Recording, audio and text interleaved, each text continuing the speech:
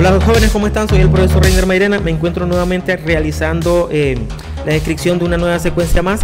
Eh, por lo tanto, espero pues que se estén uniendo a nuestro, a nuestro canal de YouTube para seguir aprendiendo de la carrera de automatización. Estamos en neumática y estamos hablando de secuencias este, neumáticas. Bien, vamos a realizar la, la secuencia en el FluidSync. Veremos esta secuencia describe el siguiente orden, A menos, B menos, B más A más. Entonces vamos a ver las señales, una señal de marcha, la señal de A menos mandará a B menos, la señal de B menos mandará a B más y B más mandará a A más. Estando A más, pues ahí ¿verdad? vamos a mandar otra señal para que hacer esto repetitivo. Entonces veamos. Eh, la primera señal pues es la del pulsador 1S2 eh, el cual hará que A, retorne, A regrese y eh, regresando A pues detecta la señal 1B1, el final de carrera de B sería 2B1, el final de carrera de B más sería 2B2 y eh, en este caso pues eh, al salir A la señal que detecta es 1B2. Estas son las distintas señales que vamos a estar ocupando para lo que es el, la secuencia eh, que vamos a, vamos a realizar en el Fluid Sync. Ahora nosotros nos vamos a trasladar al Fluid Sync para comenzar a hacer la secuencia. Bien jóvenes, aquí en el Fluid Sync ya tenemos la mayoría de componentes.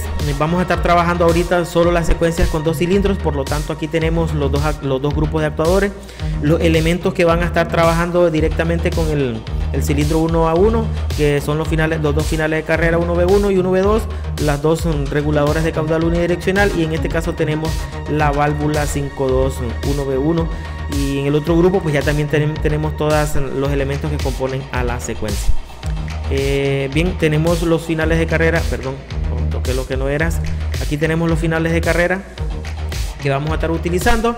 Y aquí tenemos los dos grupos. Decíamos que el número de grupos va a ser igual al número de líneas de presión. Por lo tanto eh, tenemos dos grupos tenemos dos líneas de presión. Eh, la válvula que monitorea el cambio de estados de la presión de las líneas de presión va a ser igual a la misma cantidad de grupos menos, menos uno, por lo tanto son dos grupos, entonces es una sola válvula que vamos a necesitar. Aquí tenemos nuestra válvula de pulsador de marcha, que es el primero que vamos a necesitar. Ya lo voy a poner acá para que no me vaya dando error al momento de ir simulando. Bien. Entonces veamos, este, comencemos con nuestra secuencia.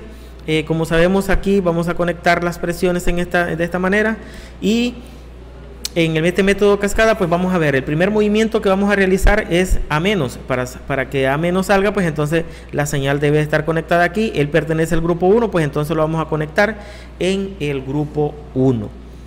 Bien, teniendo eso, a, vamos a hacer la simulación para que ustedes vean, ¿verdad? Que en este caso, ah, perdón, no hemos conectado acá el pulsador para mandarle la señal. Ahora con la simulación vamos a ver que ya tenemos o hemos logrado el primer movimiento. El primer movimiento es que A entre ya tenemos el primer movimiento. La señal que tenemos aquí es 1B1, esa la vamos a ocupar para que B entre. Entonces esa señal 1B1, buscamos a 1B1, lo tenemos acá, lo conectamos a este lado y pertenece al grupo 1. Ahora aquí ya hemos logrado la, el segundo movimiento. Vamos a ver la simulación del segundo movimiento. A entra y el otro cilindro A2 pues entra también. Ahí tenemos ahora la señal 2B1, vamos a necesitarla para el siguiente movimiento es que B más. Entonces vamos a cambiar de grupo ahora. Al cambiar de grupo, la señal 2B1 que es esta, vamos a mandar esa señal ahora a conmutar la válvula de monitoreo y la vamos a conectar al grupo anterior, o sea, ella va a trabajar el grupo 2, por lo tanto la vamos a conectar a la presión del grupo 1. Ahora esta de acá pertenece al grupo 2 y la vamos a conectar al grupo 2. Ya tenemos el tercer movimiento. Vamos a hacer la prueba y como podemos observar pues ya tenemos el tercer movimiento. Ahora la señal del tercer movimiento es 2B2 esa señal la vamos a necesitar para mandarla a esta válvula a la válvula 1B1 que sería la válvula 5.2 biestable del cilindro 1 a 1 entonces vamos a mandar esta señal acá lo ponemos acá vamos a poner acá y este lo vamos a conectar al grupo 2 aquí nosotros ya tenemos el ciclo completo los cuatro movimientos en un diagrama espacio fase de estos, de estos dos cilindros y ahí termina el ciclo. Entonces ahora para hacer esto repetitivo vamos a ocupar la última señal del último movimiento que sería, bueno ya Ya estamos claros, el último movimiento que realiza lo podemos ver en el diagrama espacio-fase y en el orden de la secuencia también es A más, por lo tanto es 1B2. Entonces esta señal la vamos a conectar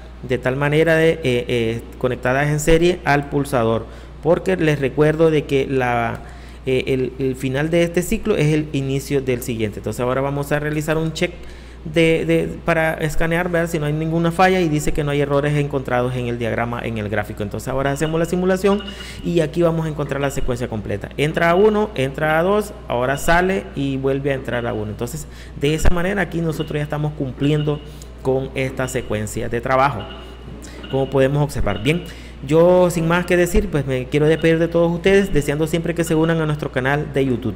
Soy el profesor Reiner. Mm, Ah, me falta todavía, eh, bueno, esto ya lo, ya lo habíamos, este, este, más que todo ya lo sabemos, el nombre de los, los sensores o finales de carrera, la válvula ya la tenemos, la 1B2 y la 1B, este, 1B2 y 1B1, el final de el nombre de los cilindros ya lo tenemos. Ahora sí, grupo 1, grupo 2, ya estando todo nombrado, ahora sí me despido de todos ustedes, soy el profesor Reiner, le deseo como siempre lo mejor a todos.